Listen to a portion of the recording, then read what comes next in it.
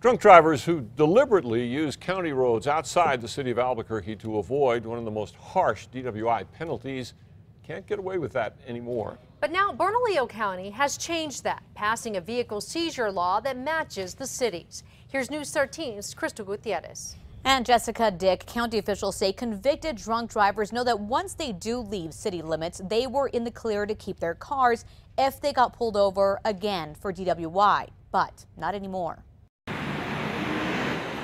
when you've got somebody heading for the county line trying to avoid a vehicle seizure, that kind of tells you everything you need to know. County officials say for far too long, parts of the county surrounding Albuquerque have been a safe haven for drunk drivers. That's about to come to an end. The county has nearly mirrored a city law that hmm. strips repeat drunk drivers of their cars when they're pulled over again for DWI.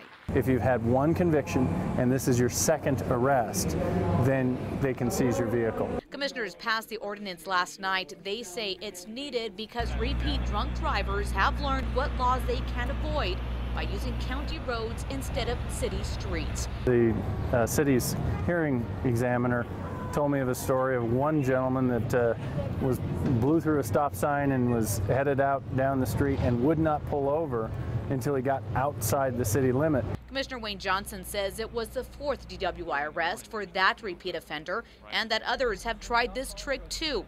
The sheriff says it's not hard to do. Bridge and 8th, if you're stopped uh, for DWI, DUI, uh, the penalty is going to be that as a repeat offender of a, the possibility of a seizure of vehicle. If that repeat offender crosses over the river and then pulls over, they're now in the county and they would keep their car.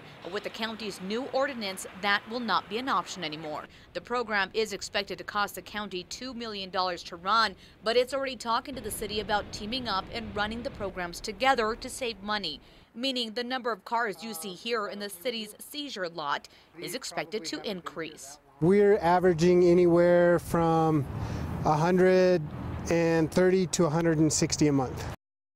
And of course, those seized vehicles are auctioned off, which helps pay for the program. Back to you. Okay, Crystal, the new law goes into effect in 30 days.